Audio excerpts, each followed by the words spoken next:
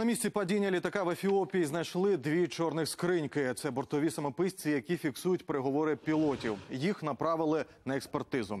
Тим часом одразу кілька країн зняли з рейсів літаки Боїнг 737 Макс, зокрема Китай, Індонезія і Південна Африка. Адже ця модель потерпіла потерпала в авіатрощі вже вдруге за півроку.